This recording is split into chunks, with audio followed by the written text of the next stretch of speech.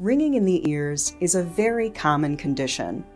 The technical term is tinnitus or tinnitus. Over 20 million Americans experience tinnitus regularly, and over 50 million report experiencing it at least once. But what is it? Hello. I'm Dr. Hilary MacCrae, a clinical audiologist at Hearing Health Center in Highland Park.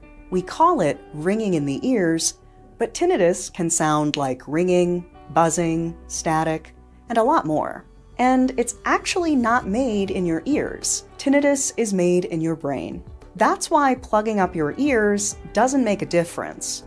It can even make the tinnitus sound louder. Most of the time, people hear ringing or buzzing in their ears after something has damaged their auditory system. This is most common with loud noises, like when you leave a rock concert or the Indy 500.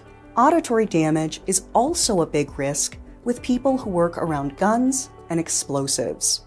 Tinnitus is the number one claim made by veterans. As of October 2021, more than 1.5 million veterans were receiving disability benefits for tinnitus. Tinnitus affects millions of people. Many are looking for help but don't know where to turn. We've heard from a lot of patients that before seeing us, they'd been told there was nothing that could be done for them. This is not true.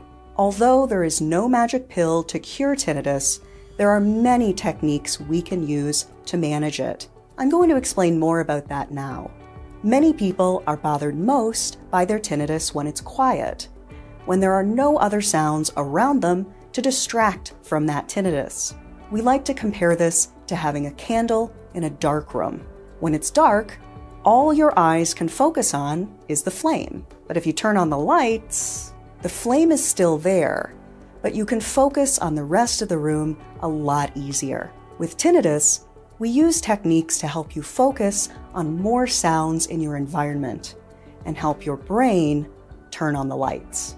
The first step in managing tinnitus is getting a full evaluation from a knowledgeable provider.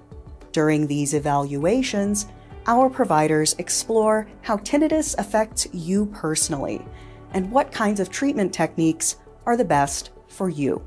Contact our office today if you struggle with managing tinnitus. Hearing Health Center is here to help.